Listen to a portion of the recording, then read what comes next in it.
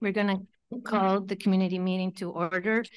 It is, see, six seventeen. Thank you, everybody, for being here. I'm gonna, I have a little to say today, very, very little, I promise.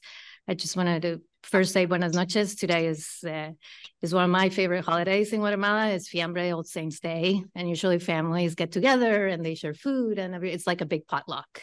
So it's like huge salad. And I'm excited actually to be here with you and be able to serve being community.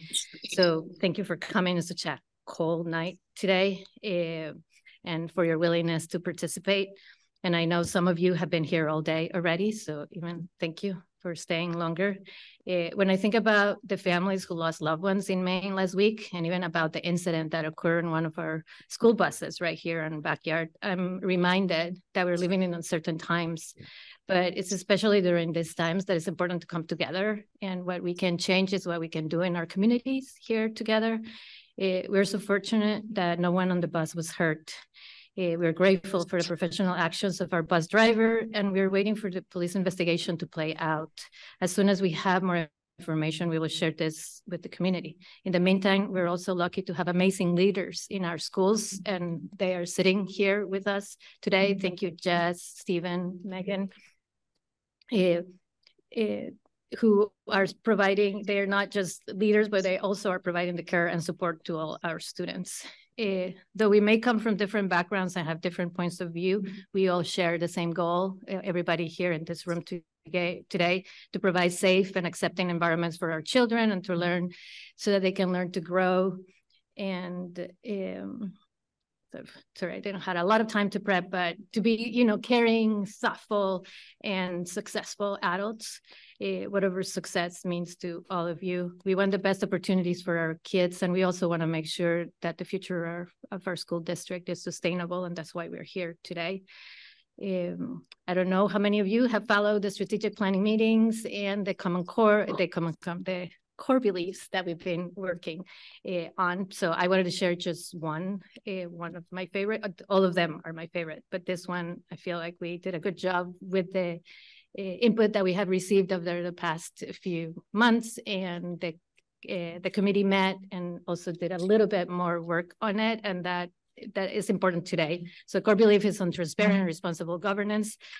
Uh, and this is uh, what, what, how it reads. All decisions about our schools must be student-centered. The board makes decisions using data and input from the community. Our processes are clear, predictable, inclusive, and transparent. Um, as you know, the core beliefs is what we all believe, what we all care and believe as a community. So tonight, just by coming here and sharing this night with us, we have something in common. You came out in a cold night and are willing to share your ideas and your thoughts. So we'll get the meeting started. With that, I'm looking, uh, I want to make one adjustment to the agenda, but first I'm going to ask my board members if they have any adjustments to the agenda. So the teachers met this afternoon, so I want to, we would like to add an extra action under executive session after coming out of executive session, ratifying the contract so I'm gonna ask for a motion to accept. This is something that we learned at our last learning with our with our lawyer with our lawyers. So I'm gonna ask for a motion to accept the change to the agenda.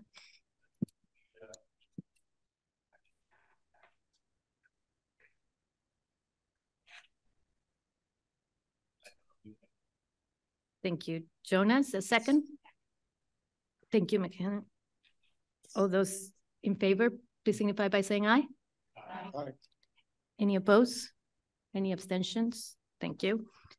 So let's get started. So uh, thank you guests for being here. We already said hello. Any of you have public comments that you want to make before we get started? Oh, yes. Thank you, Scott. Anybody online? Please raise your hand. I don't see any hands up. So, oh, Lisa. Oh, go ahead. Go ahead. Sorry.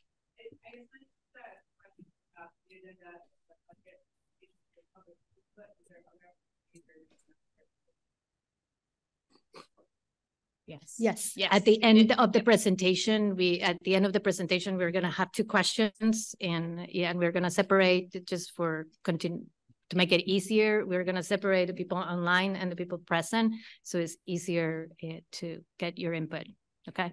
All right.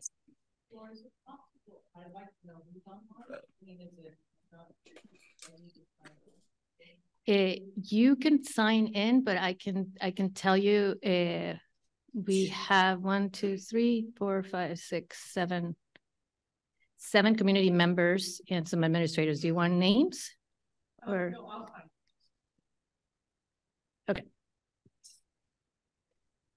So, eh, with that, Jillian, thank you for having us at your school. You are up to share with us.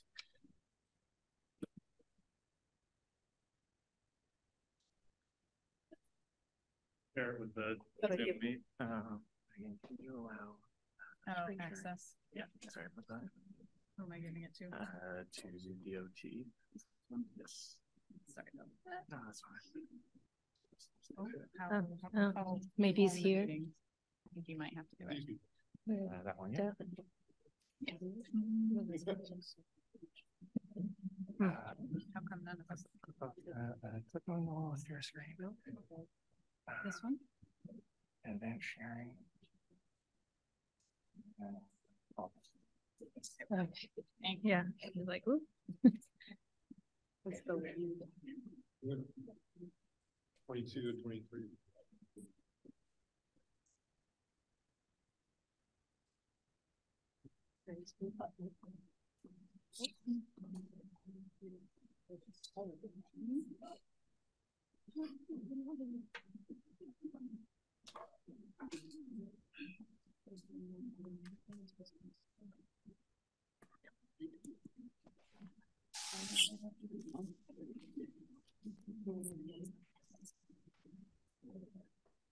All right, good evening and welcome to Doty. I'm not quite sure why I want to. Sorry, Lisa, I'm gonna have my, my back to you.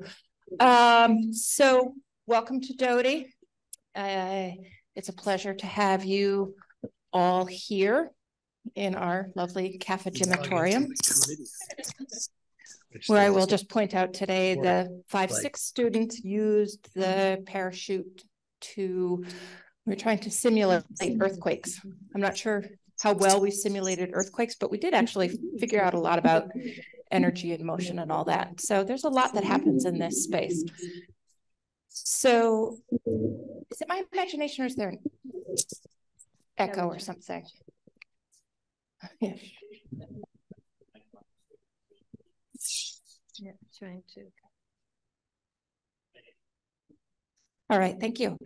So um, part of these traveling board meetings is to give both the board and the visitors a view into what we're doing around social emotional learning and supports at each school. So I'm going to go through those and talk about what we do here at Doty.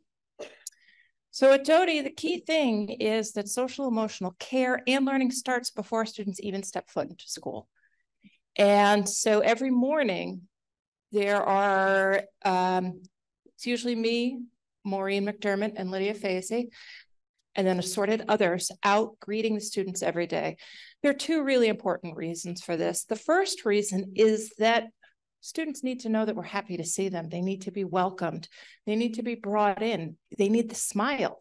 They need to know that they're wanted here so that they have a sense of belonging. Another thing that it does for us is it um, gives us a quick read on students. So if a student comes in and they're just a little slower or a little faster, just a little different, they seem a little off, we know before they even get into the door who are the kiddos that we may need to spe spend a little extra um, time with and just come back and check in on. Um, or for students who are dropped off, if the student is looking a little low, we can run out to the parking lot and just check and say, hey, you know, Susie seems a little low. Everything okay? And then usually it's something like she wanted a French braid, but we didn't have time to do it. And that happened. It's true. Another key component of our social emotional is the development of our community. We know that students and people thrive in relationships. There's a really, I think, a really interesting bod body of research that's starting to come out about the impact of loneliness and isolation on overall mental health and well-being. And so here at Doty, we strive to create a community within the school and across the school. Hmm. And so we periodically have whimsical bulletin boards monthly. So our October one caught in the web of friends. And so each student made a spider and then contributed to it. And then my lovely colleagues put me in the, the middle. So I get to be either about to be eaten or get to be caught up in the web of friends. And that really is just, that's sort of like we put ourselves in there. Everything is, there is no individual, it is Doty. Other things that we do here is in the image on the left, you can see some older students helping some younger students in the library. We do all school morning meetings. Uh, on the right, we have some of our pre-K students in the library. In our library, we really seek to have a diverse and inclusive collection. One of the things that we know that's really important for students from marginalized populations, especially, is to be able to see themselves and their families and their experiences reflected in the books they're reading again, getting back to that loneliness and that need for relationships, when students feel seen and heard and validated, it brings up the baseline. Here we have some pictures of some fifth and sixth graders reading with our second graders, just another way of bridging across the grades, creating that sense of community, removing feelings and barriers, and thoughts of isolation. And this one I had to give its own slide. Our sixth graders, I think it just exemplifies Doty. We've got our, our biggest kids and our littlest kids. And our sixth graders were helping our pre-K students on the climbing wall a few weeks ago. And that, again, it's that community and that interrelatedness The next thing is about about our social emotional programs. Here it's about clarity and teaching. We need to be really clear. Uh, something I picked up a long time ago, a phrase I use a lot is you cannot expect it if you did not teach it. And so we need to be clear in what are our expectations because when we're not clear, there's a wiggle room and that can create anxiety. And so then you're just setting kids up there. And then we need to teach students. We, we do not come into school and into this world learning how to interact, learning how to manage our feelings. So we set the clear expectations and then we don't just say, okay, well, now go do it.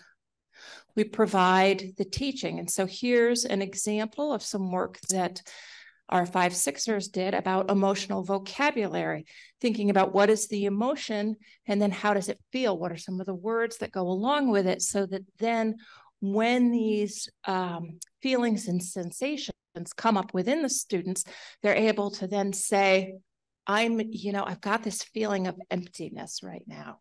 What, you know, what's it about? Oh, maybe I'm feeling sad and helping them develop the vocabulary to do that. Oops. Uh, so the other thing about this that's really key, and this is borrowed from Rick Wormeli, who's done a ton of work on, on differentiation, is when we're working with students and teaching them about any skill, there are two ways you can look at it. A student gets into a hole, a student is struggling. You can put a ladder down and stand at the edge of the hole and say, okay, come on, climb the ladder, climb the ladder. You can do it, you can do it. But you don't know if the rungs are properly spaced for the student. You know, don't know if the student's ever encountered a ladder before.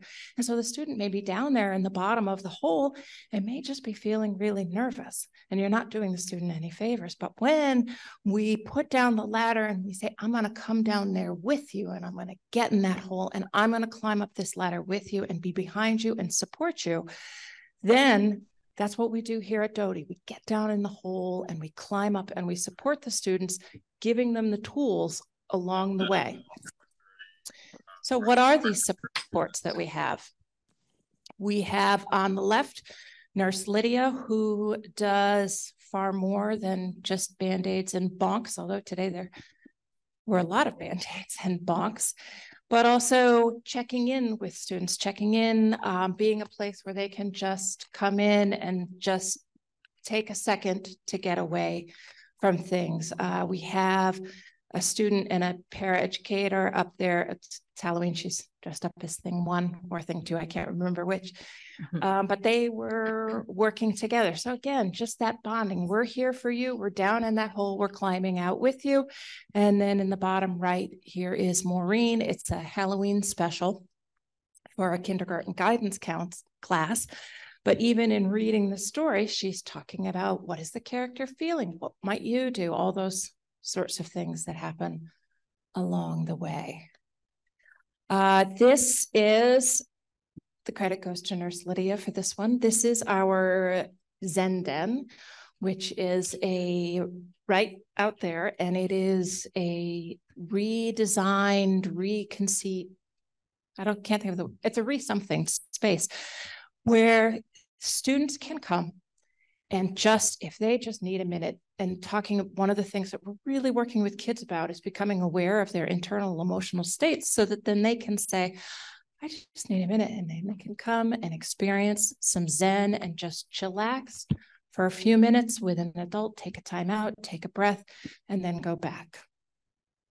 Another thing that we are doing is one of our paraeducators beth stern took the breathe for change yoga uh, course over the summer, and the Breathe for Change yoga class is really organized around um, helping kids learn self regulation skills. So we are incorporating yoga movement breaks. So, and then also doing some, the lower left is some students doing some team building exercises. Then the final thing that we've done a lot of work on this year is listening to what our students are showing us. And that's the behaviors. How do we keep track of behaviors? How do we identify them? What I might call disruptive, you might not call disruptive. What I might call disrespectful, you might say, oh, that's just a student saving face. So at the beginning of the year, we spent a great deal of time uh, looking at how do we track behaviors or things that students are doing? And how do we reconceptualize it and sort of move away from this language of an office discipline referral to an incident report or a safety report? What are we seeing? What are we noticing? And then more importantly what are we doing with that information? So i just put a couple of snippets on the incident reports these are for things mm-hmm. with, because we use the responsive classroom model, which talks a lot about this, the setting the expectations and the reminders and what teachers can do within the classroom. These are filed for when a something a student is exhibiting a behavior and has not changed within with two reminders. Then, so that could be something like a side conversation or a distracting noise. We actually had a lot of conversations about wandering and you'll see over on the safety reports, we have elopement or fleeing. And we were talking about, well, what are the reasons that students kind of get up and are not where they're supposed to be? And thinking about what's behind it. And the wandering is sometimes just somebody's just a little overwhelmed. Uh, they come back when you when you ask them to. And then on the right hand side, uh, we have another Google form, which is for safety reports. And those are the, you know, non-accidental physical contact with another person. So really deliberately framing it that way, it's not just about physical aggression. In the write-up, we might specify that it was an aggressive act, but it could be, do we have a student who uh, perhaps is, is doing some sensory seeking behavior by kind of bashing into other kids? That happens uh, a fair amount. So sort of taking the judgment language out of it, non-accidental physical contact with another student. So we're able to then, it feeds into a spreadsheet and we're able to then look at patterns and discover is, um, is Meg struggling um, at every board meeting at 7.30? And if we look at it, oh gosh, then we can sit, we can talk with Meg and say, Meg, it seems like every board meeting at about 7.30, you really start to struggle. What do you think? Sorry. No, I'm not sorry at all. Uh, that's a lie. The we can then say, what's going on? And and depending on how old Meg is, she may, you know, we may prompt her through it. Oh, it might just turn out she's hungry. And we say, you know what? Let's just have a snack right next to your computer. And at 7:30, you can have your snack. And we put that into place and she's doing better. So that's the beauty of this. And just before, then we can take this and put it into IC. But this for us is, um, it may seem like adding an additional layer, but it makes it very quick and easy and accessible for us. So what I wanted to do is just end with, I call this a melange of adorableness because um, we are raising tiny people here and we're we are growing humans and the social emotional part is key. If students are not ready and emotionally available their learning isn't going to happen and there are about a million different ways you can do it but it's about the care and the relationships and the community. So enjoy the adorableness and thank you. Thank you, Jillian. So talking about students and adorable, I have two student members and it, they are not typically with us at our community forums and we're super excited to have them here with us. So I'm going to let them share a little bit. we get it.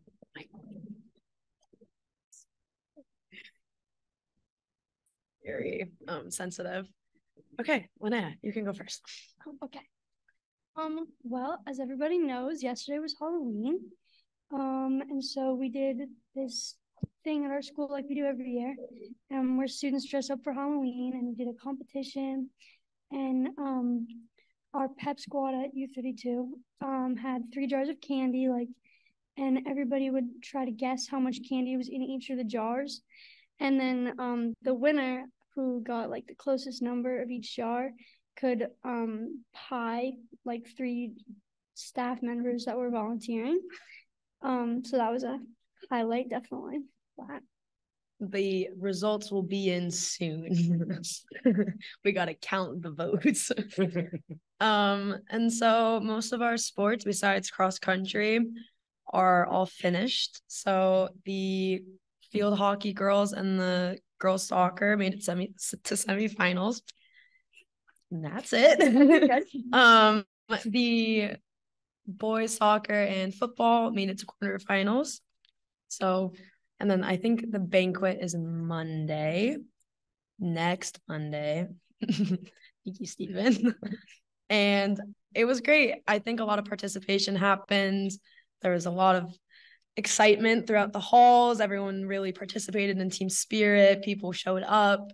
And then tomorrow and then this weekend is Um, well, boys, girls, and boys and girls cross country team are going to New England.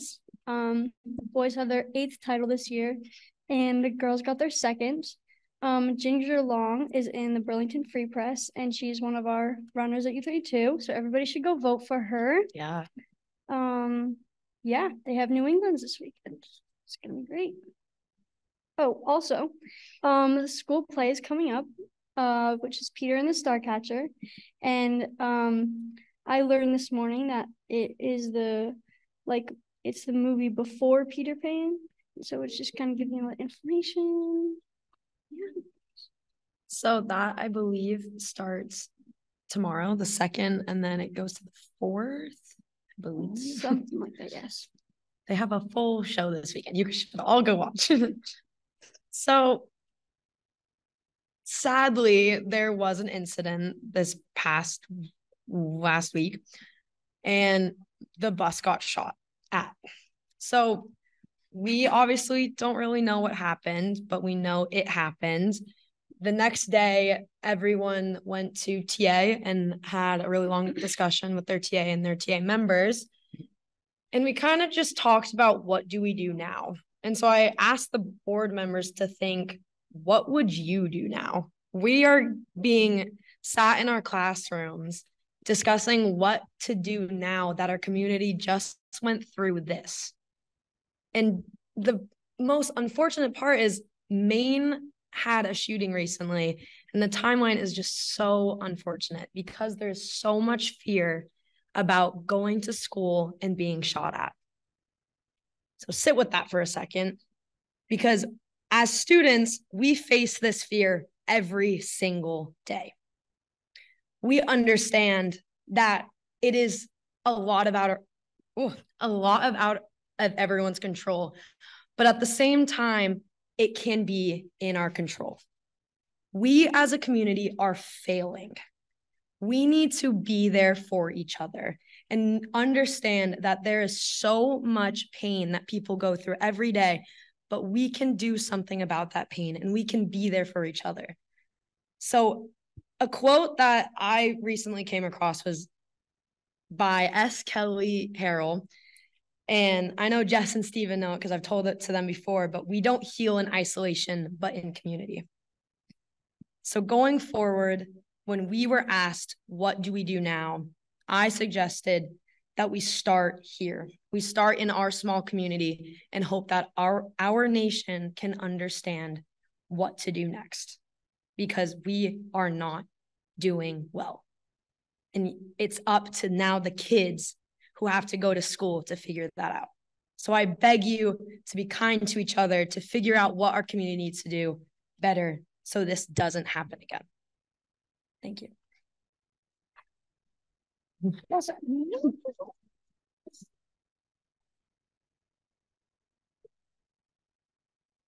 Thank you, Linnea and Willow. And as we can see, our future is bright with you. And, we're gonna get started. Yep. Yep, Spencer, you can share the slides and um I'm gonna thank Gillian in advance because she made some copies for us. So she's working on making some copies for us, which she did not know that she, we were gonna need her to do. So she's being a wonderful hostess. So I can start while she's making Yeah, copies. That sounds Okay. good. Sorry, everybody. We'll do It's better. a little, yeah, it's, it's a little heavy. I get closer so I can lift that up. So we'll get started while they're making the copies. So this, this forum is about sharing some information about how the budget process works. Sorry. And, and about gathering some information early to inform the remaining of the- the remaining parts of the process. Eh, we call it building the vision before uh, the budget because our goal is to help the board and the community ground the budget and financial decisions uh, and we actually want for our learners and how a school budget can support all of our students. Uh, best outcomes for kids, sustainability, and more opportunities is what we are hoping for our kids. Thank you. So I'm going to situate where we are in the budget process a little bit. The board and anyone who sort of comes to all of our meetings will see this several times. Um, in October, we had our annual budget training, um, which is when we uh, remind ourselves how Vermont education funding works. We talk a little bit about our current realities. And this year, got some really early information about um, just uh, budget assumptions. Um, and there is a little bit of information in in these slides as well about that. Tonight is our community input session. Um, so this is really the, an opportunity, uh, one of several, to be able to give input at this early of a process. Um, the first budget draft will be presented to the board on November 15th. Um, and that includes input we receive here, input we receive from faculty and staff, um, and students, and um, then the board will discuss that. They'll give administration some direction. On December twentieth, we'll have another budget meeting. Um, that's an opportunity to share any changes, any new information. Uh, a lot of the information at this stage of the budget process is um, fluctuates. Um, so we will do that on the twentieth. The goal is that our budget meeting on January seventeenth would be when the board would approve their final budget uh, and start the process of warning the budget for voting. Our annual meeting is March fourth and town meeting day we vote. And this is what we hope to do tonight. Um, we start, as Flor shared, um, with understanding our vision, our values, and our strategic plan, because that is what our budget needs to support. Um, you've you've heard a little bit even today from our students, um, but this is the most important part of the budget process. What is it that we need to do? Um, then we're going to share what we know right now about our budget context and some realities. These are things that we need to be aware of as we plan that budget to support our vision. Um, and then it's an opportunity for an input session. And we'll talk a little bit about what that will look like. We will have an opportunity for those folks um, on the screen um, and the folks in the room.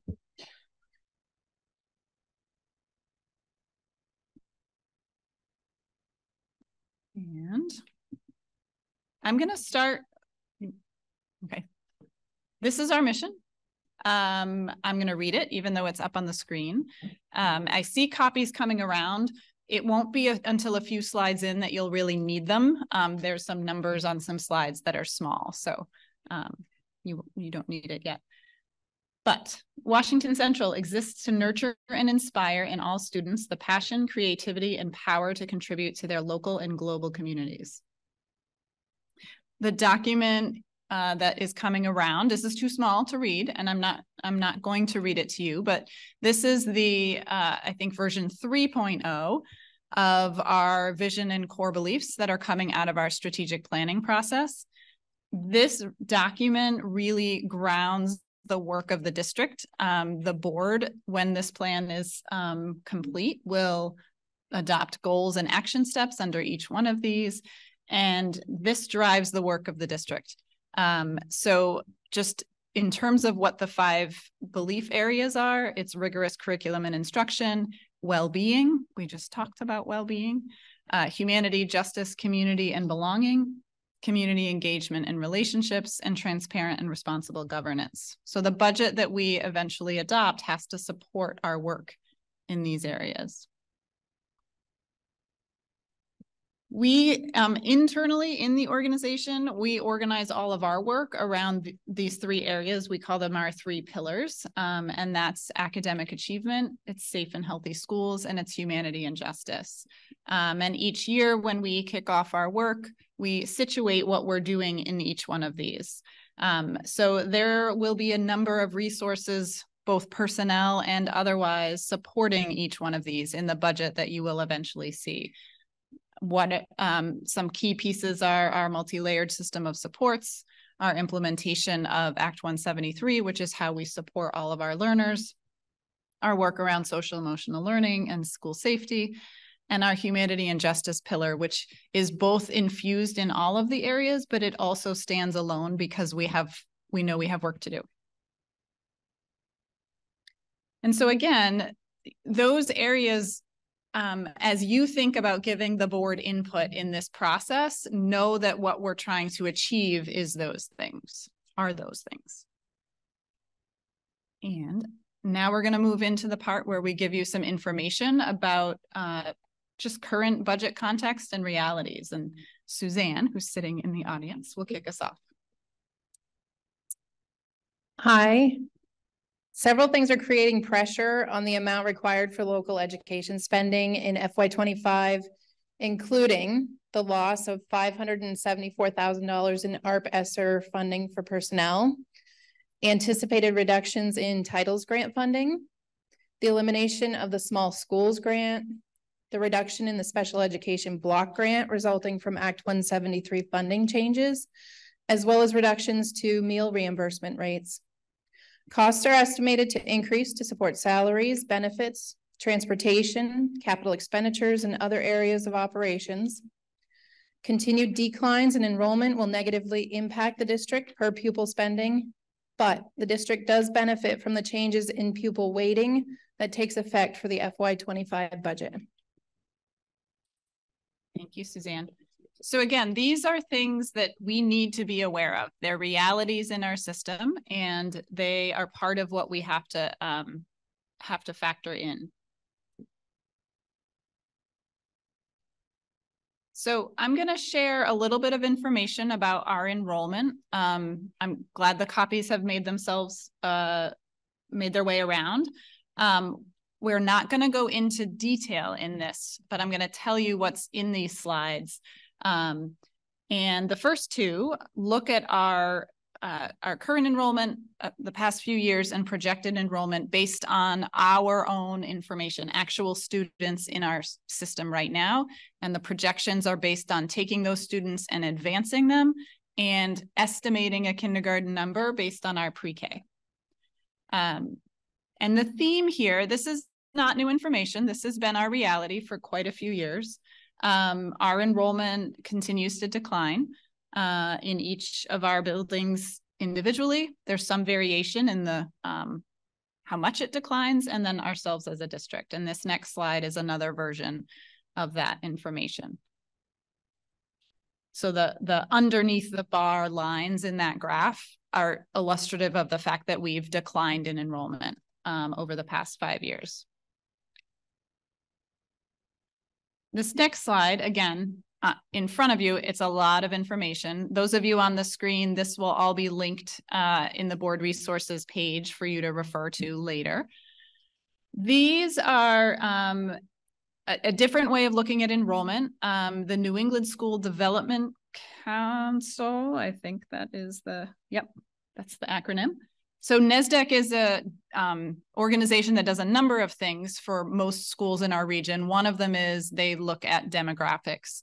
So they look at actual enrollment. We report our enrollment to them and they take a few additional factors into consideration when they do enrollment projections. So they look at birth rates, they look at um, housing approval and sort of um, HUD numbers in our towns and um, they give us some additional projections. Uh, when you look at this chart compared to the one before you, it is going to look different for a couple of reasons. One, it does not include pre-K. The full report, which is linked on our website uh, and will be linked in this slide if you access it that way, has a lot more information. There's lots of different ways to look at this data. This is only one snapshot. Um, but this chart does not include pre-K. They have other charts that do. The other thing it does not include for U32 is any students who access U32 through tuition, uh, our memorandum of understanding or school choice. So U32 serves more students than are listed on this chart, which is different than this. Whoops. This one has students inclusive of that. So, but again, these are here for purposes of tonight to really just help us understand that one of the contexts we have to deal with is declining enrollment over time. And I'm going to pass it to Suzanne again for the next couple slides.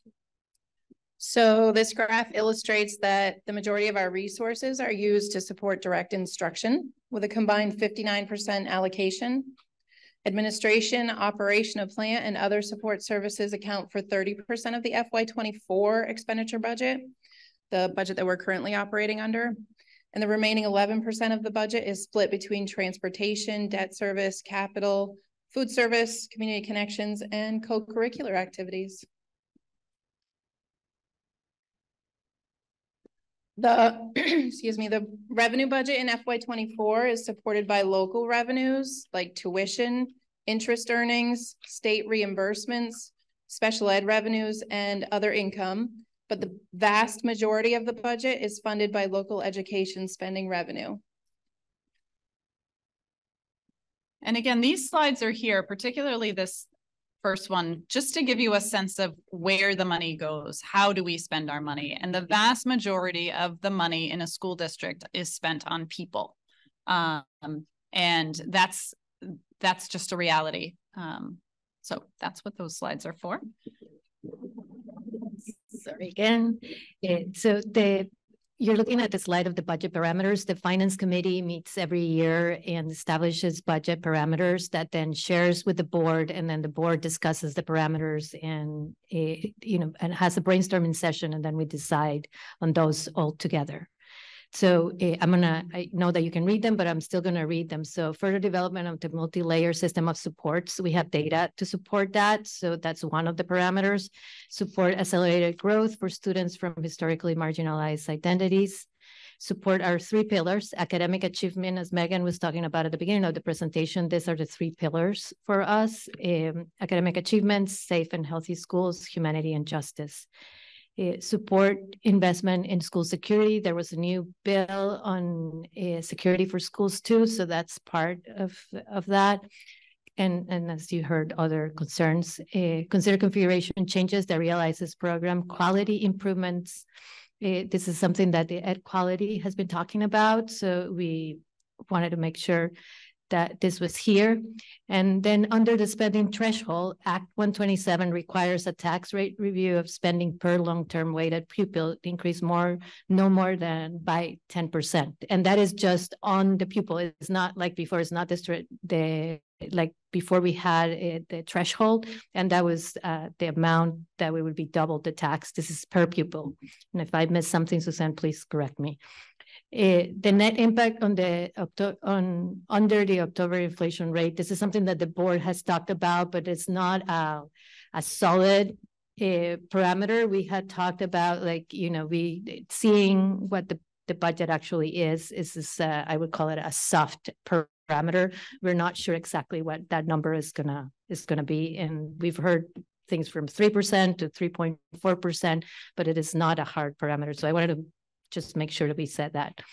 And then frame the budget decisions around edu- education quality standards, equitable distribution of resources and student need.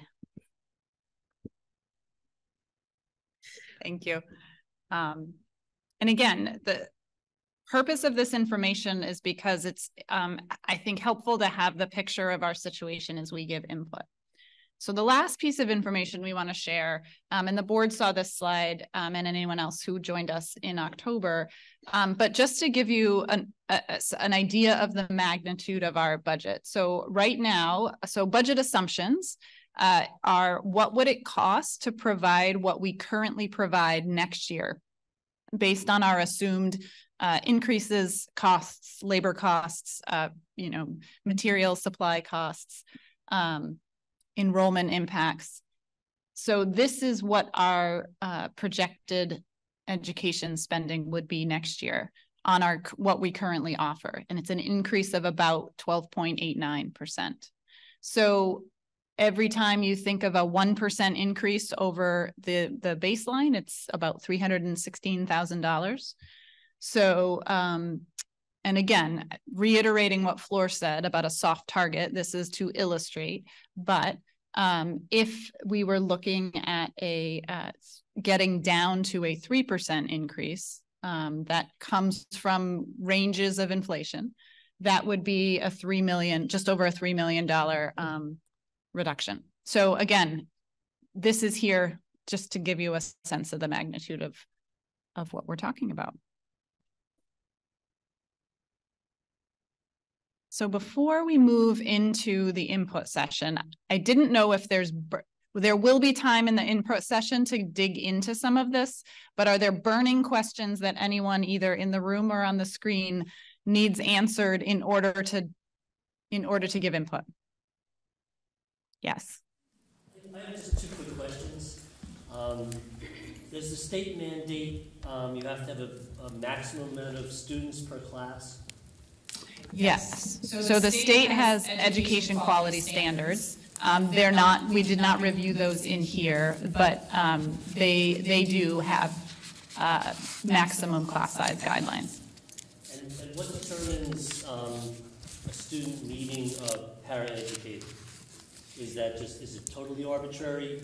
Can it be more than one paraeducator for more than one student? So Yep, it's a great question. I would answer it in general terms this way. Students who need individual support or even just additional support um, specific to their disability, there are quite a few parameters around that. So they have a, an individual education plan that is developed by a team of people. So that's why it's not easy to answer exactly how that decision is made, but it is not random. It's based on the student's data and their disability and how they access their education. Um, so, and Kara, I don't know if you'd have anything to add to that. Okay. Yeah.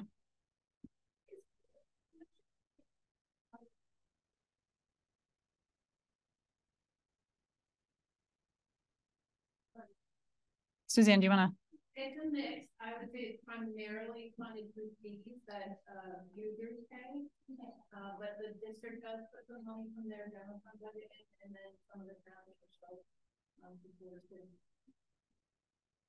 On that follow-up question, can you have more than one paraeducator? Or Can you have two students with one paraeducator? If their needs can be met by one, yes. But it's driven by the needs of the student. Yep. Okay. Yes. Yes. So what we were gonna try to do, just to be fair to everybody, was gonna move, break into two rooms so that we can have a conversation with the people that are present here and then one conversation with the people that are online. So we were gonna, we were prepped to break. Carrie, are you okay with this plan? Yeah, so Carrie and Jen or Kara, whoever of you wanna go, and Spencer, do you mind taking the Zoom with you? And then we're gonna, if, just so that both groups know, it, these are the two questions that we were, you know, what did you learn from this overview? We're just gonna be doing a round. This is a process that we used at our last finance committee. You can do a pass, but we want to make sure that everybody in the room gets to uh, collaborate. And this is the second question. Yep, sorry. And then logistically, for the purposes of the folks um on the screen, I'm gonna create a breakout room because I think on the screen, I'm going to assume that there may be some people who just want to listen to the conversation and some people who want to participate. So I'm going to open up a breakout room. Folks on the screen can go into that room. You will be able to hear conversation whether you stay here or whether you go into the other room. Um, but I'm going to open that up. So Jen or Kari, when you log in on your own, if I, I will put you in there once you log in. And you would be this computer, right, Spencer, or?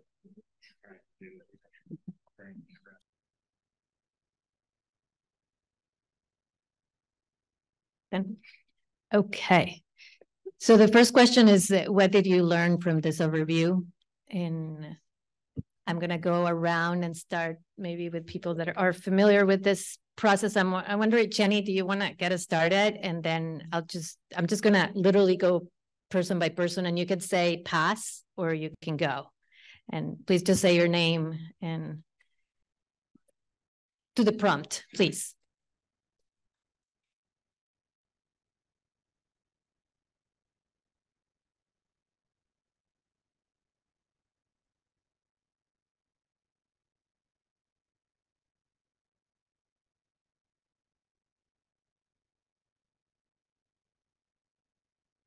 Thank you, Jenny. Yeah. Mrs. Canaler or Michael? Beth, okay.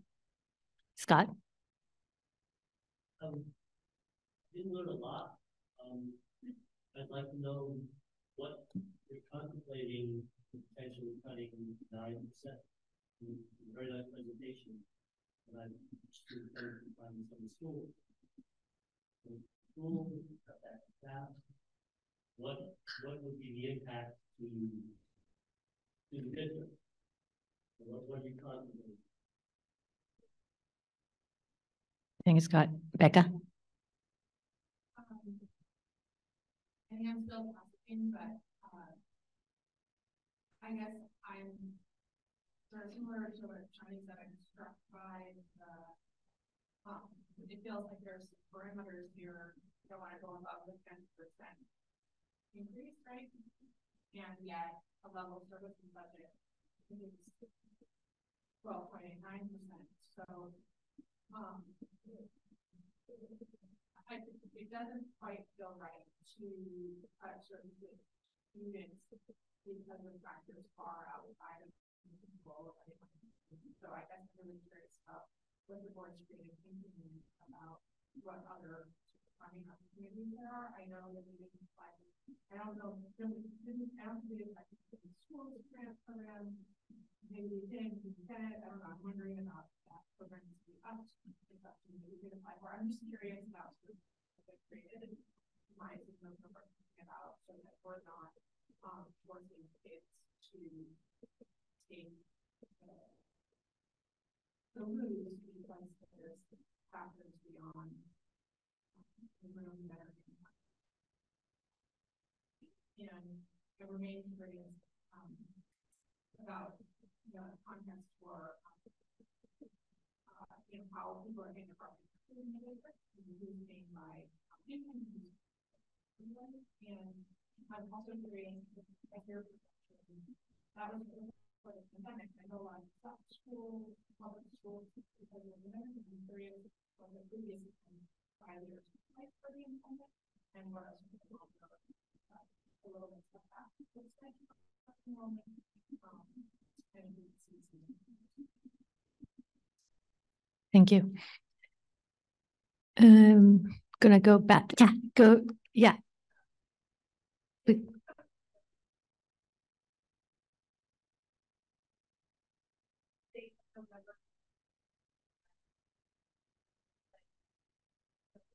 about the split potentially falling off of, and now I have a date. Um, now I have a date that I like, I feel like I might get pushed off a cliff um as a staff member, so it's a little scary. Um, it's just a little scary having that date. It's good, it's good. I appreciate all the information, but it's gonna loom in my head, like November fifteenth, what's gonna come out that might change where I am next year, might like totally disrupt my life. Pass. Sure. Can you just make sure to say your name so not every board member is familiar with all the staff members too? Thank you. Uh, so hi, I'm Meredith Crandall. Um, and I actually grew up in this town. Um, and am now here raising two kids who both go here. Um, and so what I learned from this, echoing what Shawnee put in, was that the board definitely has a lot of really big decisions to make. Um, and the numbers are really important. And my hope is that you will, in your proposals, think about, think creatively as much as possible, um, both in how to deal with the numbers, but also how to keep the community and the relationships that Gillian's presentation was talking about this morning. Um, how to keep those in mind, how to keep those strong because they are very, very, very important. Um, my kids are part of the Worcester community, but they are also part of the larger community. They're involved in community connections. And because Doty is so small, that community connections program is actually at Rumney. They also take part in, um, in the community connections program with vacation um, times. They get to meet kids at East Montpelier. They get to meet kids at lots of other schools in the district but their strongest relationship is here right now in Worcester. Um, and that's really important. Um, and the Doty School also is involved in the larger community of Worcester. They're involved in the local weekly meal, weekly lunch, all of these things. And keeping those connections in mind and making sure that they aren't completely broken, I think is really, really important.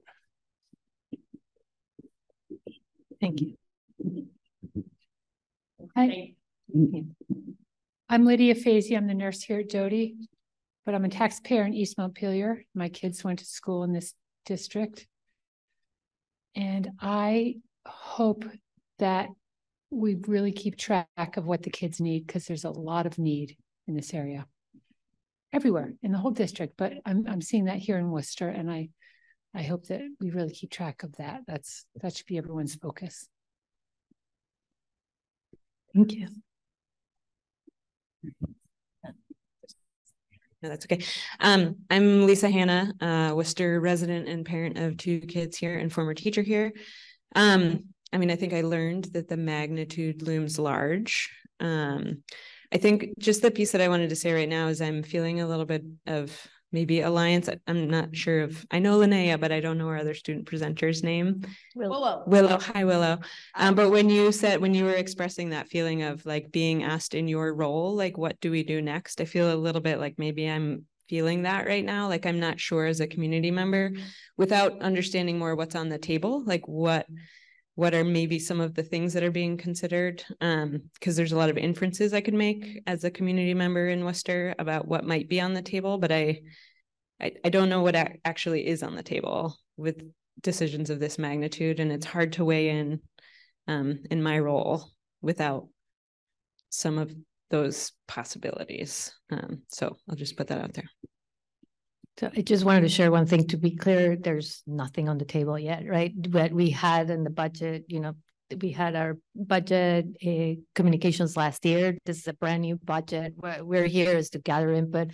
What is important to you? What you learned from this presentation? So there's nothing sort of planned or, you know, um, there, there's nothing planned. You're working with your administrators that in your just in your um, buildings there's going to be some surveys. We have a finance committee that uh, we expanded the finance committee that includes a couple of principals to uh, extra board members so that we can make sure that we are as transparent as possible. But there's nothing yet. So that's why you're not being presented with options yet. Yeah, and like I don't mean that in a nefarious way either. That Yeah, I yeah. feel like it's not transparent so much as like a blank slate is really hard. And I mean, I don't want my school to close, um, and I don't know if that's on the table or not. Um, so I guess I'll just put that out there. And it certainly does not mean that I assume things are being kept from us so much as like it is. It I'm sure you all feel it's hard to operate like this is big, right? And so those are just my feelings.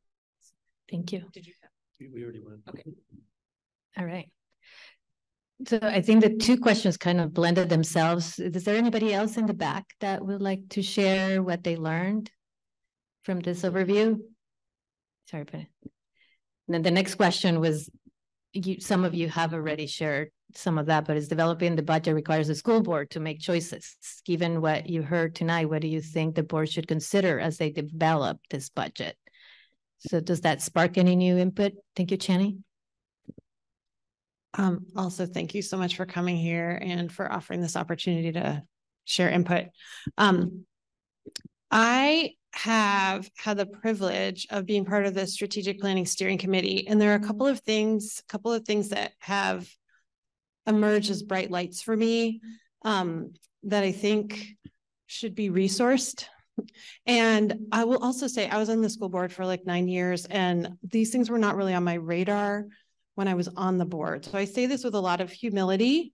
Um, these weren't things that I was paying attention to, but years later, they seem really important. And I think um, pointing toward these things would really help us point toward wellness for our students in the future. And the first one is that we're not really set up in a way that supports um, youth to partner with adults in their education.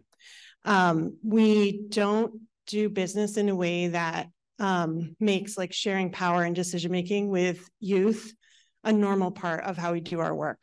And that has really shown up in the strategic planning process. Like we, it's, we don't have like natural things in place that allow for working together with youth on the things that impact them the most, like our strategic plan. so um, I and I think that needs to be resourced, and there are really great resources. And the change process, I think, would be it would take time and be significant, but I think it would be incredibly meaningful. So I really hope that resourcing that could be part of the plan. The other thing that um, has been a bright light for me is that we are not set up in a way that makes it easy for information to flow from families and students who are dealing with the biggest struggles. and challenges. So we're set up in a way where we hear from, in general, folks who are um, experiencing more wellness. And we don't hear, we don't have like an information flow that naturally allows us to understand more of the really important things that folks have to say um, folks who are dealing with the biggest struggles. And I like that can be resourced and it, it has to do with, again, like where we're putting, like what's, what positions we have.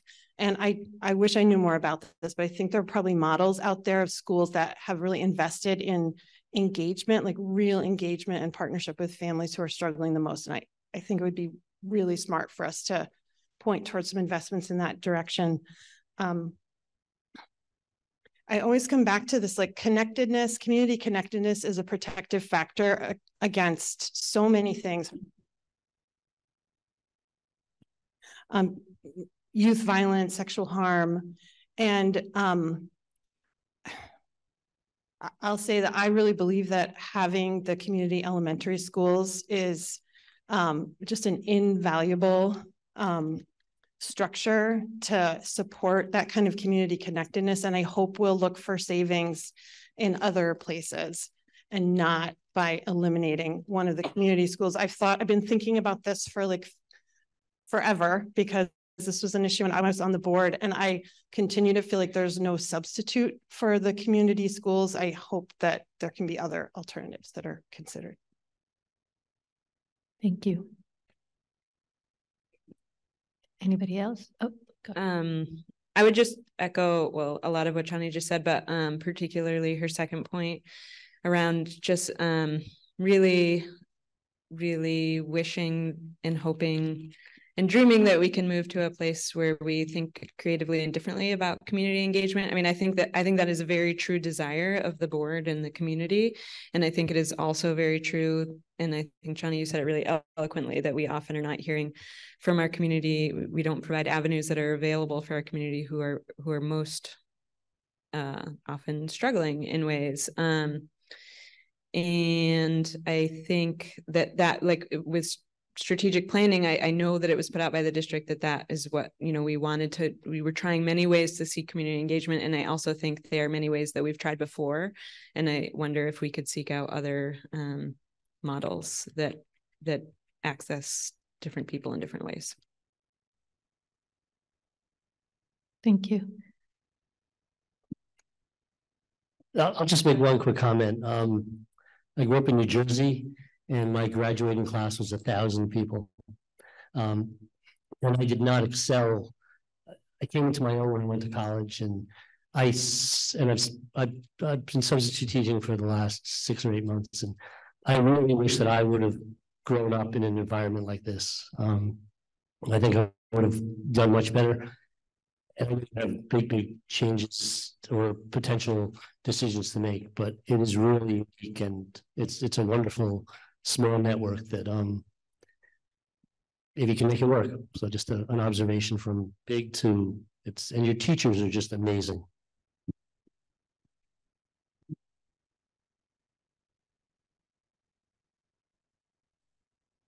Oh yes, my name is Honey Bean Barrett and I teach here at Doty. Um, I would just ask the board, I know you already do this, but I'm going to say it. I know that you have to focus on the data but behind each data point is a person or child and that child or that staff member they come from a whole family like and they're part of a bigger community. Like we're way more than numbers way way more than numbers. Um so just keep that in your heart. Thank you. Anybody else Are there any questions that we're not asking that you would like to share since we have a little bit more time? Please, Mr. Dwayne. Yeah, thanks. Oh, Michael Dwayne, uh, East Montpelier.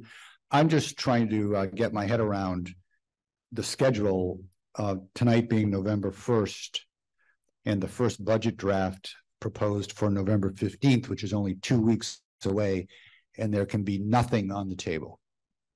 That kind of doesn't make sense, but I understand what you're trying to grapple with. But 35, thir- 31 million dollars and in the next two weeks and nothing's on the table. Um, Can you give more generalities about how you're going to develop the first budget draft in two weeks involving thirty-one million dollars and there being a clean slate and nothing on the table? Just to try to help me understand that. Thank you. Yeah, I mean, I think what I would add, and I don't have a slide for it in this presentation, but um, one of the things we talk with the board about in their budget training is that we have three lenses that we use. So what I would say in answer to that question is we have a process for how we digest all the information that we get from you. And the we in this sense is the administration, because that's who brings the budget back to the board. Um, to digest the information from you all, to digest the information we get from our staff. Um, we have a group of budget ambassadors that include students. Um, you know, I work with a couple of students on the student council. So digesting all that input, we have three things we look at. We look at um, delivering quality education. Um, and we look at that through best practice and and Vermont's education quality standards because that's our that those are the regulations we follow. We look at how we distribute resources across the system and we look at student need. And are we meeting the need and also taking into consideration the different needs in each of our buildings? So I can tell you that administration uses those lenses to say, what are the parameters? What do we have to invest in? What are we trying to achieve? I'm pointing at a slide and it's not up, but that was an earlier slide um, and then use that information to bring it back. So that's not answering your question of what's on the table, but it is telling you how we approach the conversation.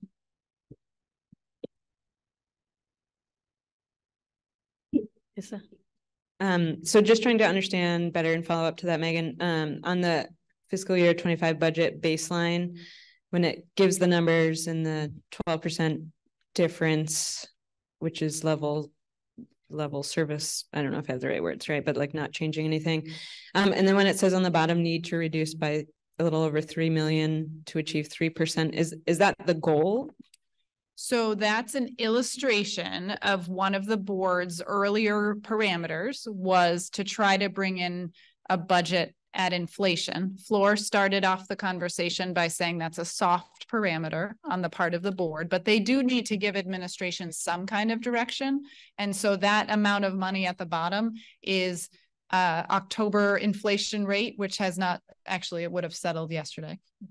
Um, hovers around 3%. So we just did a calculation to be able to illustrate the magnitude of the distance between the current state and that parameter. So now our job is to say, what do we need to resource to be able to deliver all of those things to students and all of the things that you shared? Um, we know that the board would like us to be judicious in doing that. Um, and we bring a proposal in in a couple of weeks. Uh, I can't tell you what that percentage will be at that time. We just need some guidelines as administration. I have two follow-up questions to this yeah. gentleman's very wise thinking. Um, the first is, can you let me know, because I don't know, who is on the budget committee? Is it just board members or does it include administration? Does it include community members and or staff?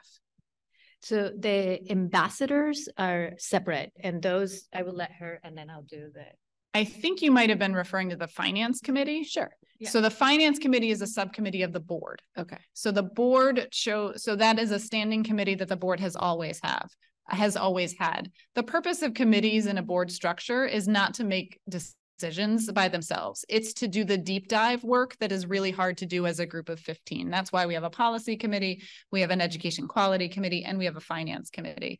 This board also uh, two or three meetings ago decided that the study of configuration also needs to be done by a group that deep dives into it and has chosen to de to delegate that deep dive to the finance committee. Um, they also recognized that at the time, the finance committee didn't have membership from every town. So they added two members, again, board subcommittee and invited two additional principals to be a part of it for the deep dive. Decision-making, information sharing all comes before the full board. And the board also approved an input process that goes from January until June. And that's where the voices of all of the others will come in.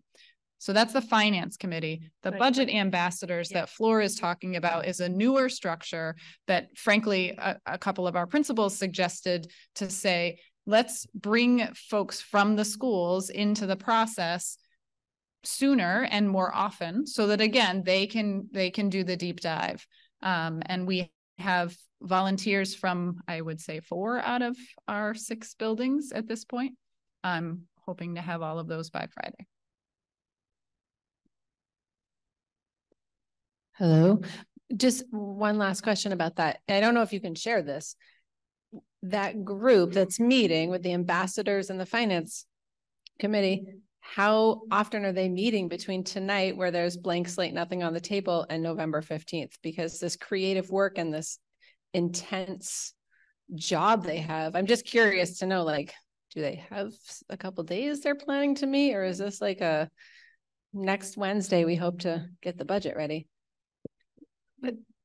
Yeah, that's a, you know, that, that is a, that is a good question. And I just want to make one thing clear. The budget ambassadors are completely separate from the finances committee, right? The budget ambassadors, the idea is that we need, like you, you guys have all been saying, you know, we need more people communicating about the budget, what the budget needs are, what the conversations are, so that we have a more transparent way of making sure that everybody in the district is informed and also feels like they have a stake on what is important. There are some very hard decisions to make. There's not a lot of time, right? Between now and January or February. So every year we start a little earlier, right? We start in September this year instead of in instead of in October. So the committee meets on the finance committee meets the first Tuesday of every month and we do the regular finance stuff that needs to happen, right? Eh, whether it is facilities, whether it's uh, um, regular board orders, whatever is the business of that. And we leave a little time for Eh, budget discussion if, if needed, but the, the other committee of the board is meeting right before the meeting. Finding times to meet as a committee is really hard, right? So the third Wednesday, that, that committee meets, brainstorms. We had a meeting on the nineteenth. The next meeting of that committee would be on November fifteenth, right? So it is not a lot of time, but at the same time, you have to remember that the board itself and that committee itself is, you know, with an equity lens on mind, is trying to do its best to support those parameters that we were saying, the three pillars that we keep talking about, and hearing from you guys and the principals, what are the student needs? What do we need? And how can we be creative with the amount of resources that we have? So yes, it is some magic that we need to create, but I think we do have a lot of opportunities together and you guys are making us brainstorm, you know, better and how to communicate what is important to you and, and hopefully by March, we, you know, we will have a passed budget. Eh, Mrs. Canaler. Sorry. Like an Ellen explosion. Knadler, East Montpelier. So the uh finance committee meetings as the policy, the educational quality, those are all open meetings. Yes. Anyone can go. Anyone can. go. And for what, what I have noticed, the finance committee will meet before a board meeting, but then they meet at eight o'clock in the morning on sometimes. Yep. And, and the uh, strategic planning committee meetings, are those open? And how about the um, budget ambassador meetings? Are those open? Can anybody go to those? Can they either zoom in? Can they show up wherever the appointed place is, or are those not available to anybody? Yeah, so strategic planning meetings are not, that's not a committee of the board. That's a group that was delegated by recruiting from across the district. So um, while they're open in the sense that we would welcome any audience members, it's often hard to get the entire committee itself all together at one time. Um, so they're open, but they're not meetings of the board, so they're not warned or things like that. Um, the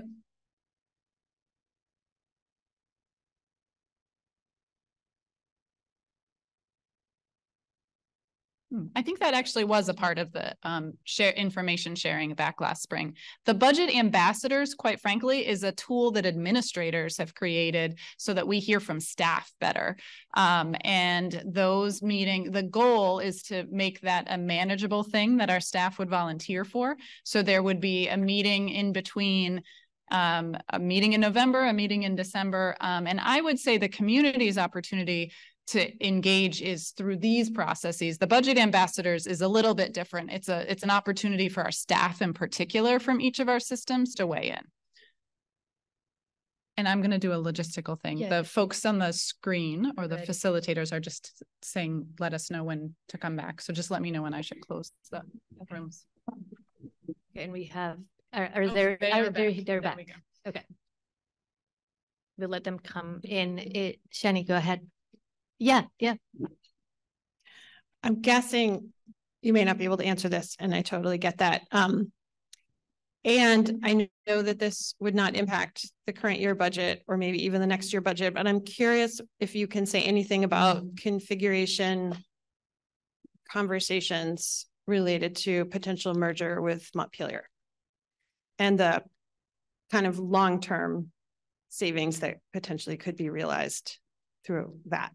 Yeah, so I think what we had, what we had shared with the, what we had shared with the board and had shared with the community was that it, the, it, both the superintendent and the board chair and the superintendent, your superintendent and your board chair, we met and we tried to figure out where everybody was at, eh, at a time. And what we realized is that we are both, both districts are involved in the same sort of process right now. They're trying to they they're going through not necessarily a strategic plan meeting, but they are having community meetings to see what is important, what their core beliefs are without it really is not a strategic plan, but they are in, involved in the same kind of planning with us to finding they are unified with the Roxbury. They're trying to decide what they're going to do. They had a lot of decisions to make, just like us, to better understanding ourselves. So we felt like each of us will use that as a as a as a lens or a scenario to call it that, and then in the spring get back together and then decide if eh, if if when it was the best time to come together because there was no capacity to not just capacity but enough understanding of where our districts are to have a meaningful conversation. So th- that's where we left it. So it's not the conversation is not closed by any means. We just wanted to have the right information to be able to make it a meaningful conversation. The other thing to keep in mind that i don't think we've clarified today and some people might know and people don't know is that the configuration committee that is meeting right now is we're going to look at what they propose in January, right? That's where we're going to have discussions with our community. So it's not, uh, uh, we're not going to be able to realize or or propose like huge changes, right? A system can take huge changes in one year, right? We as a board recognize that. So we what we're trying to do is build a path to that. Jonas, do you have something to share? Okay. Uh, so if if that helps.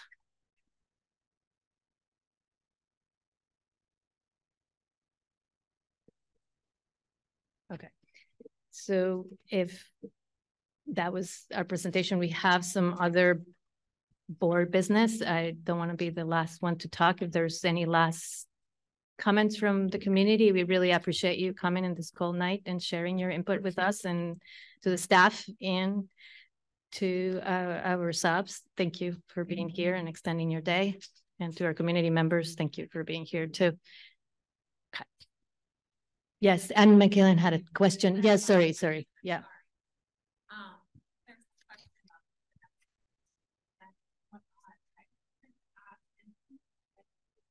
Sorry, I apologize if I asked before, but Dan, do we know that ten percent?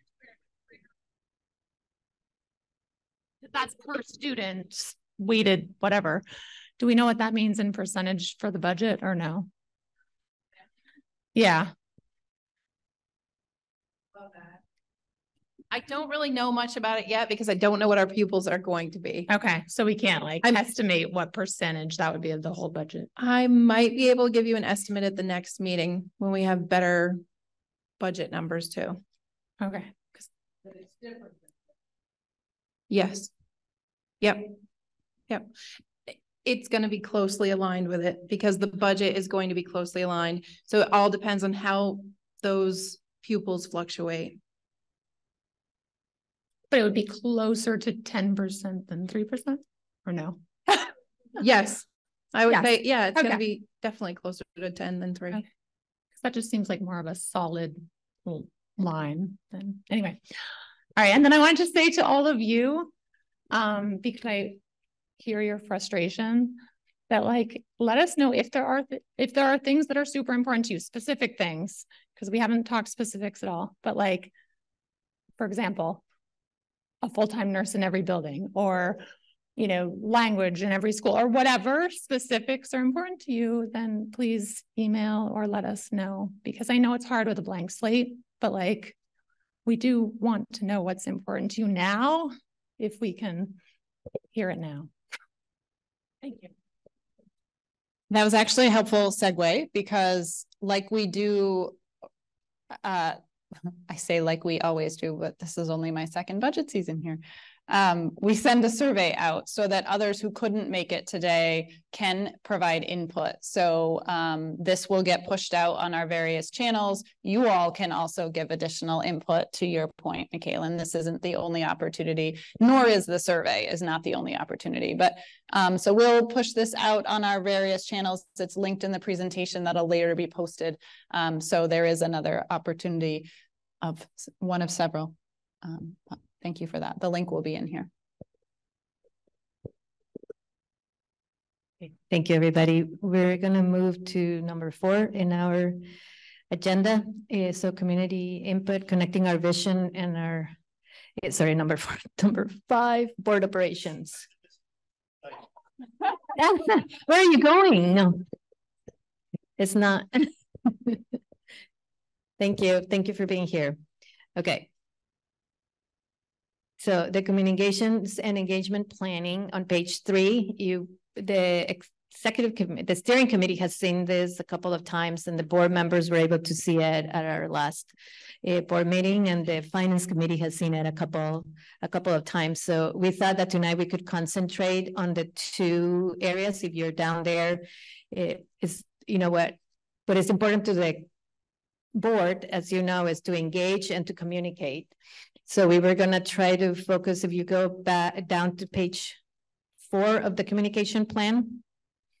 If you have it in front of you, we were gonna try to concentrate in, in the board part of it and in the budget development and budget communication part of it. So hold input session, inform community about the process meeting, meetings, communicate parameters and board updates. Eh, I'm wondering if there could be somebody volunteering. Kari's been doing a really good job helping us uh, do an update after each board meeting. Are you willing to do this one to the next one, Kari, or should I? Uh, today's, okay. And, and then in budget communication, under annual budget meeting presentation and communicate the budget process. So it's mostly that we're staying, you know, we kind of have a plan. Meagan, do you have something to add to that? No, I think we just talked about when the, when the steering committee was thinking about this, they thought when we reflect as a board, it's helpful to have something to reflect on and communication felt like a good place to start. So the, the thinking is that we would just pull this up at the end of every meeting to say, what needs to be communicated out? Is there something in addition to what's bulleted out here? Or you guys have like three bullets that you think is essential? Go ahead, Daniel. I think, I think one thing that came up in the course of that conversation and hearing that input is we need to reiterate the distinction between the configuration study process and the budget process, the Mhm. distinct timelines, the distinct roles the board and its committees are playing in each process. Thank you. Anything else? Okay, go ahead, Ursula. Spencer is right behind you.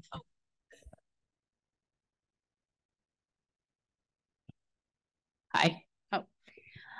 So it was brought up by our community members. And we've talked about it as a board is that we don't always hear from everybody in our community, especially those who might be disadvantaged. And I think that that's true again tonight is we did not hear from everybody in our community that we probably could have or should have. And it's just something we need to continue working on. Thank you. Thank you, Ursula. Okay. So then we're seeing no other hands up. Oh, go ahead, Diane. So it, I think what we also heard was a lot of anxiety about what's unknown. And so, um, you know, just reiterating that we're, we're working as quickly as we can to have, uh, information put out there so that it, it's, they know what, what's being discussed. But what I was hearing was that anxiety around the unknown. Thank you, Dan. Go ahead, Lena. So, okay. Um, I just want to say that I agree with Ursula, and I think the point that she made about not hearing from everybody that um might be disadvantaged is really important, especially just like in the day and age that we're in. I think we just really have to, like she said, try and keep reaching out to people and keep trying to make sure that people are like communicating about what they need and what they think is important. Thank you.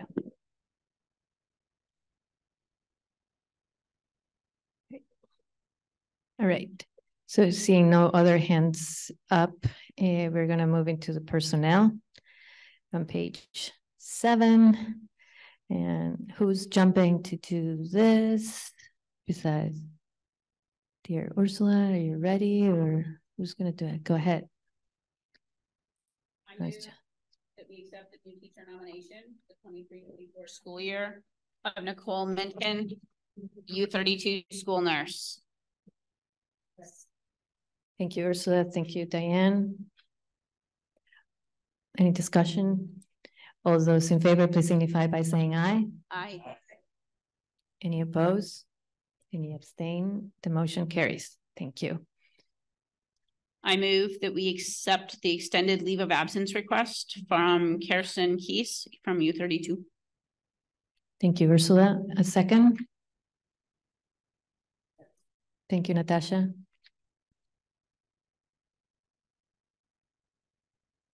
All those in favor, please signify by saying aye. Aye. Any opposed?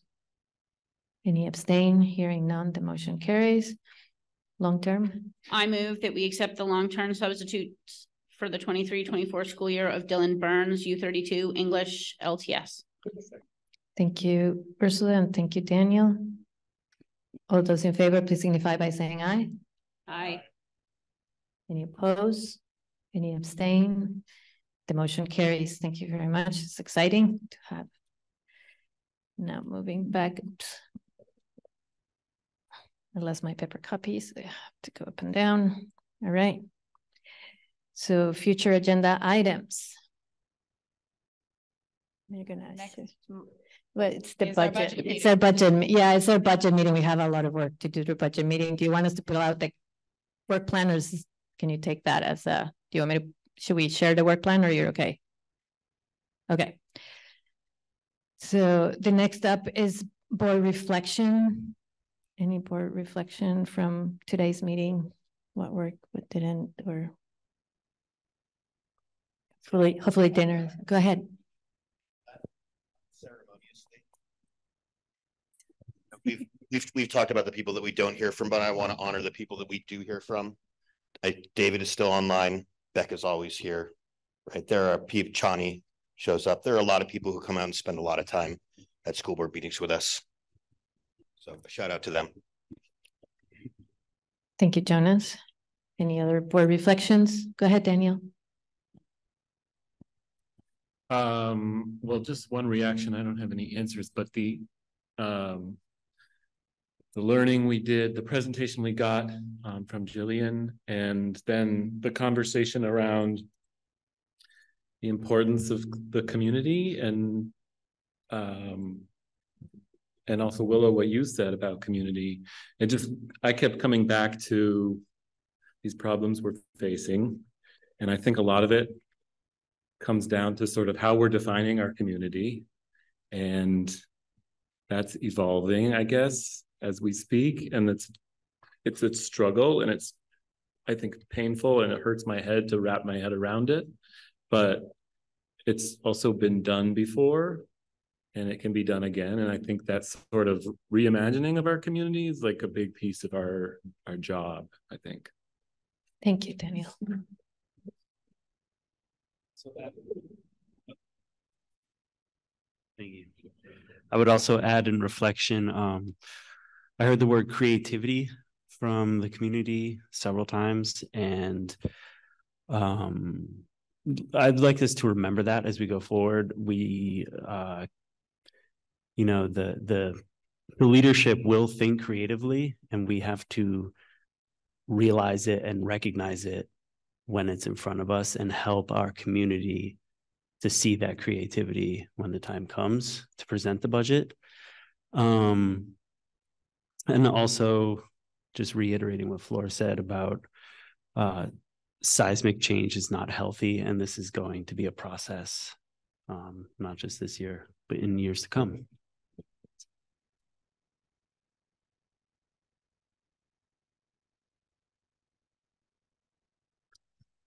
Worked really well.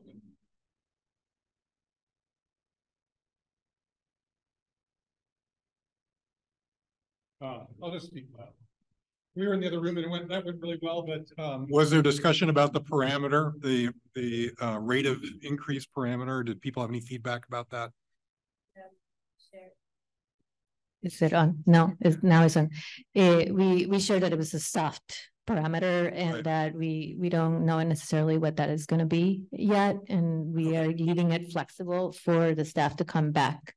To us, it's a soft parameter is what we're saying. And the rate of inflation, we know that, you know, sort of is three point four, not necessarily three. So, so is So- it fair to say that uh, the board like to revisit that and, and re- review it and have a real discussion about it? That to the finance committee, then bring it back to the board, but because we need to have a budget before all of that happens, we keep saying it's a soft parameter, so I guess we could do a show of thumbs as a board in reflection if you feel like you agree that it's a soft parameter, it's not a hard parameter.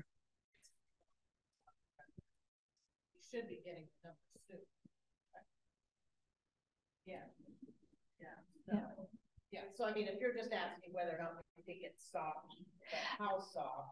Well, I, I think my at least what I was gauging from the from the board in okay is that you know like if we're looking at what the numbers that they're presenting to us right now at almost 13 percent right it, going with that 3% or even a 3.4 seems unrealistic right now. So having the having those numbers that you saw there, the 1% equals $300,000 more or less, and the 3% are guiding numbers for us to know how to read the budget and know how much money we need to take out if we want to go, but not ask the administrators to go to a 3.4% right now, but to be diligent and, you know, they, you know, we have to be sustainable in the long term. So we're not trying to make it confusing for you guys, but hopefully this. I, I can share a little bit of insight into how we're having this conversation. I didn't know, Chris, if your question was relevant.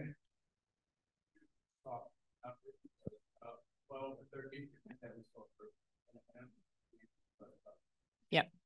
Um, if it helps, just in terms of the work of the administration who also saw that number at the same time you did, uh, well, maybe a few hours before. Um, we know there's a lot of distance between the rate of inflation and where we currently sit. And so we tried to put some framework around, well, we could approach it this way, we could approach it this way, we could approach it this way, and we'll show that to you. And it gave us a little bit of a um, a way to think about the distance between the two things and um, coming back to you with what we need to actually open schools and focus on programs this year, meaning focus on quality and the ability to deliver that. And so that's probably not helpful, but just know that we've been having this conversation and seeing it as a soft parameter just based on your last conversation, honestly. Um, I have a question. Meagan, would it be helpful to uh the administration to have a range number that the board might be contemplating? Uh, so that you say, if it's this, this is what we need to do. If it's this, rather than twelve percent and, and three percent, which is clearly not. Um, but it, it will give us more information as to what the potential outlook would be at certain ranges. It's always easier for us to have direction. I think what we were trying to do is create direction from that big gap in between the two. So um, it would be helpful. And we're ready to bring you, well, we're not ready right now, but we will be ready by in, in two weeks to bring you something and explain to you why we chose the parameter. So in other words, I, I think we can work around either way. Okay, thank you.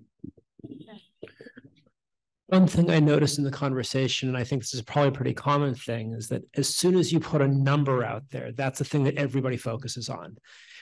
And I think we you know, maybe should should think more about like how do we frame this so that people understand there are all these other parameters that we also put on the budget and that we can't we're not only going to look at the number we're also going to look at well what what are the trade-offs? Do we can't cut one of the other ones completely out to make to make three percent? And i think that gets a little lost when everyone's you know talking about the about the number.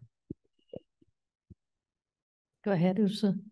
I was going to use last year as an example when Meagan and the administration team came back to us and said, we can't make your percent increase um, parameter and said, in order to keep academic achievement and student health and safety and humanity justice pillars strong, this is what we need. And this is the percent we can give you. I think that that's what I see when we say that this is a soft target. Thank you, Ursula. Okay. So let's move into our executive session. So I'm going to be, we're going to have two executive sessions. So people that need to go home, uh, one in student residency request and one in negotiations. Coming out of the second one, we will be taking an action as you heard. So for Orca and others that want to be part of that, please wait for us here. Otherwise, we are gonna go to the go to the room go to the room and come back so that it make that easier instead of because otherwise we have to recreate this whole setup. So we will just travel to the art room and come back here when we're when we're done. So I'm looking for a motion to go into executive session uh, for student resident request. Wait. This is purely logistic on my part. Suzanne needs to be with us or we would request that the board ask Suzanne in for negotiations. Can we flip it so we can do negotiations And first then they and can then go- Suzanne can leave? Sure. Yeah. So can you want to flip your motion in? It's okay. To include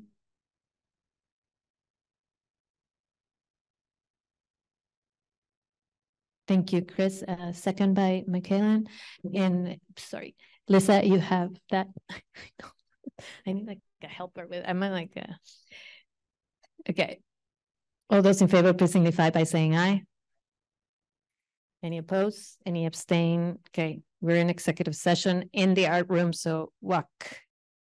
All right, we're out of executive session and I'm looking for a motion to ratify our contract. Uh, Jonas, you have the language. I move to approve the two thousand twenty-three to two thousand twenty-four to two thousand twenty-five to twenty-six collective bargaining agreement reached with the Washington Central Educators Union Teachers Bargaining Unit. Thank you, Jonas. Is second by Diane. Floor. Any discussion? I Go just- ahead, Diane, uh, Daniel. For the record, I just wanted to declare my conflict of interest and intention to abstain from the vote. Thank you. Daniel, any other discussion? I think I just want to say just publicly, thank you to the negotiations committee. It's a lot of work. And thank you to Suzanne and thank you to Meagan. And this is a great accomplishment for our district. All right, all those in favor, please signify by saying aye. Any opposed? Any abstentions? Okay, we have one. Jonas, you have that? All right. So moving on, we have another executive session, but Suzanne, thank you for being here. And yeah, try carefully.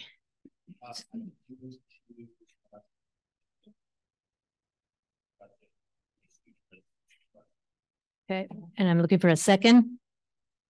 Thank you, Diane. All those in favor, please signify by saying aye, and we're going back to the same room. Sorry, shouldn't take long. So before Jonah's computer dies, I'm looking for a motion to, uh, thank you, Jonas, a second. Okay, second by Chris. Okay, all those in favor of accepting the request, please signify by saying aye. So I'm gonna do a show of hands for the ones that, eh, because it's gonna be hard. So can you please raise your hand if you're granting the request? One, two, three, four, five, oop, six, seven, eight, here. Okay, eight, yes. Uh, noes, raise your hand. I guess it doesn't really matter. One, two, three, four, five, six. So the what? Okay. So They're here whenever they. the end of the school year. Okay. Thank you. Thank, thank you by Ursula, by Ursula. Those in favor, please signify by saying aye, and thank you for being here tonight. Aye.